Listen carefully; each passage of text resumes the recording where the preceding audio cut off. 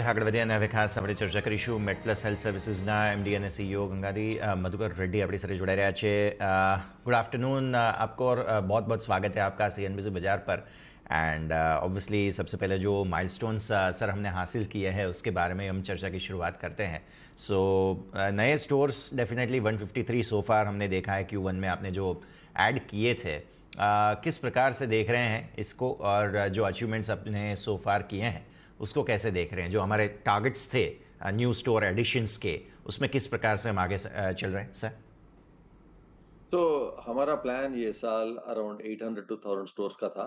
मैं सोच रहा हूँ कि 800 स्टोर्स हम करेंगे ज़रूर ये साल। 150 स्टोर्स का एडिशन हुआ है, जावेद साहब बोले आप। बाकी थ्री क्वार्टर्स में उतना कर लेंगे हम डेफिनेटली सर सो हमने हाल ही में देखा था कि बड़े ब्लॉक डील वगैरह में मेजर एक्सचेंजेस जो हैं, वो होल्डिंग पैटर्न्स वगैरह में हुए हैं। तो क्या मेरा बेसिकली क्वेश्चन ये रहेगा कि क्या एग्जिस्टिंग जो इन्वेस्टर्स है, कुछ एंट्री एग्जिट वगैरह के लिए आपको कुछ बात हुई है, नहीं? या इन्वेस्टर्स जो है, वो किस प्रकार से स्टेक यहाँ पर लेने की कोशिश में है sir sure sure so so, हमारे कंपनी में जैसा आपको मालूम है हम दो साल पहले ही लिस्ट पे थे। उससे बहुत पहले से प्राइवेट इक्विटी इन्वेस्टर्स कंपनी में मौजूद है। और private investee private equity investors का यही रहता है कि वे दे बाई जब कंपनी लिस्टेड नहीं हो तो खरीदेंगे। बाद में लिस्टिंग के लिस्टिंग के टाइम और लिस्टिंग के बाद में थोड़ा थोड़ा करके निकलना पड़ता है उनको। क्योंकि उनका मैंडेट ही प्राइवेट कंपनी में रहने का है। सो so, वैसा ही हमारे पास दो बड़े प्राइवेट इक्विटी इन्वेस्टर्स थे एक तो प्रेम जी इन्वेस्ट और दूसरा वॉबक पिंकस। इनका दोनों का रफली around thirty two percent stake था। वो धीरे अभी दो साल हो गए ऑलमोस्ट हमारा एटीन नाइनटीन मंथ्स हुआ।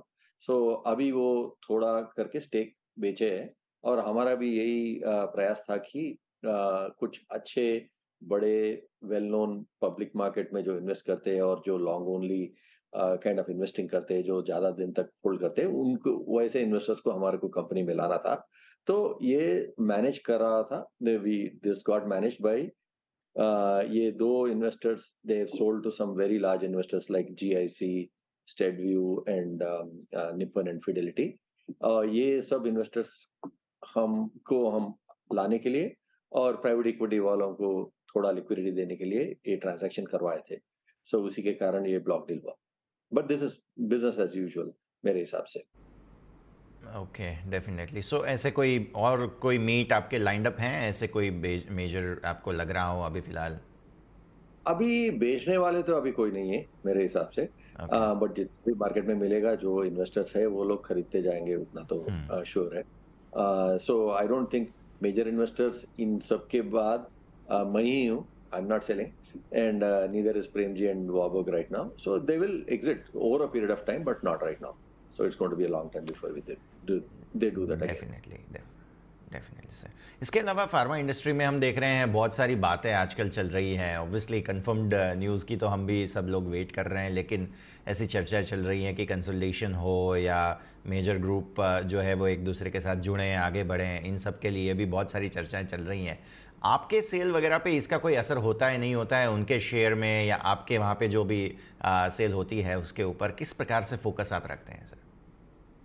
मेरे हिसाब में तो ये कंसोलिडेशन होना ही था। इंडिया एक ही कंट्री है जहाँ पे हंड्रेड्स ऑफ़ कंपनीज़ है।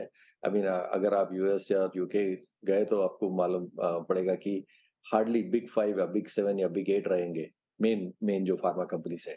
अपने पास ये जो है टॉप फिफ्टी टॉप हंड्रेड तक भी लिस्ट चलते रहेगा। सो हंड्रेड परसेंट श्योर और कंसोलिडेशन तो होना ही था। हुआ, हो रहा है, करके सुनने में सुनने में आ रहा है।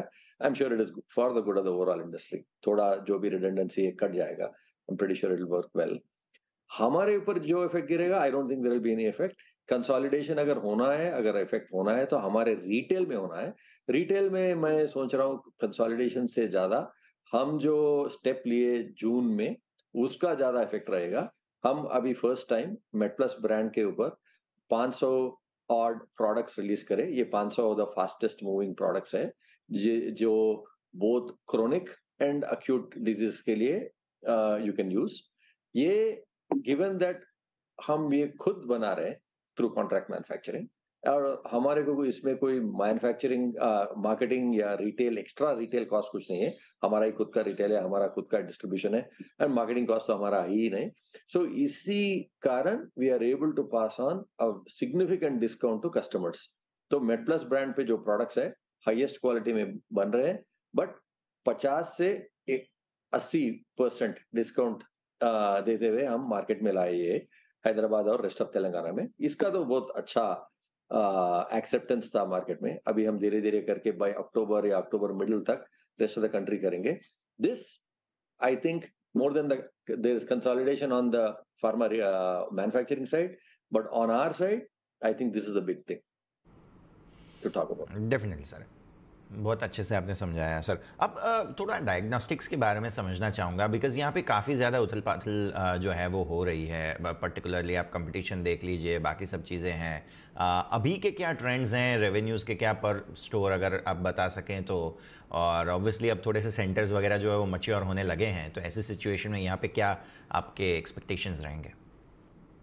जी डायग्नोस्टिक्स में दो चीज़। है आप जब बोल रहे हैं कंपटीशन बहुत ज़्यादा है तो आप आप मेनली पैथोलॉजी एंड बायोकेमिस्ट्री के बारे में बोल रहे हैं जहाँ पे बड़े बड़े लिस्टेड कंपनीज़ है जो फ्रेंचाइजी के इससे हंड्रेड्स ऑफ़ सेंटर से उठाते हैं।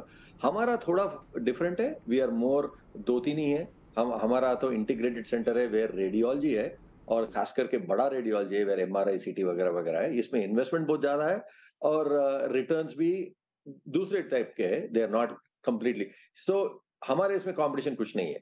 Anyway that's the first point I want to make second हमारा मॉडल जो है ये सब्सक्रिप्शन बेस्ड मॉडल है। जहाँ पे लोग आके थोड़ा सब्सक्रिप्शन अमाउंट इंश्योरेंस के तौर पे या whatever you want call it they pay a small amount of fee beginning of the year में या whenever they start and for one year एक साल तक उनको 75 परसेंट डिस्काउंट मिलता है सब टेस्ट के ऊपर। सो so, हमारा मॉडल यही था कि पूरा हैदराबाद में फुल नेटवर्क लगाए और जहाँ से भी हो लोग सब्सक्रिप्शन खरीद के हमारा seventy five percent discount use करके they should make their cost go down तो मॉडल हमारा ये है कि it depends on a lot of people becoming members of the overall you know business model out there so अगर अभी आज के दिन हमारे पास एक लाख दस हज़ार मेंबर्स है, ये एक लाख दस हज़ार से आगे बढ़ के दो लाख, तीन लाख जब होगा, तब हमारा पूरा सेट होगा मॉडल करके हमारा मानना है। Mean anyway to explain it subscription fee pay करता है कस्टमर इसी से हमारा प्रॉफिट आता है।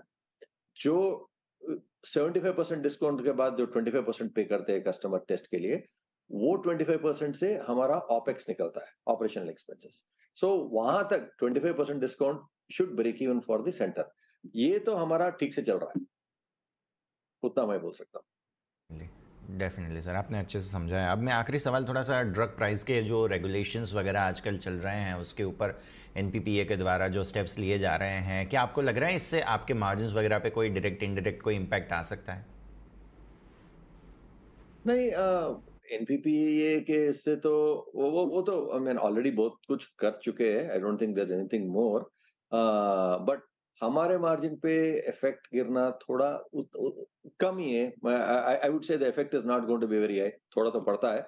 अगर हंड्रेड हमारा मार्जिन परसेंटेज तो सेम रहता है बट हंड्रेड रुपी का ड्रग अगर फिफ्टी या सेवेंटी रुपीज़ में आ रहा है तो we will make the same twenty twenty five percent on a lesser amount of money so वैसा अपसुट मार्जिन में थोड़ा कम हो सकता है बट हम ये देख रहे हैं कि मार्केट तो बढ़ते जा रहा है और मेनली जितना एनपीपीए का डिक्रीज है प्राइस उससे कई लेवल्स ज़्यादा हमारा खुद का डिक्रीज है वेयर डिस्काउंट दे रहे हैं।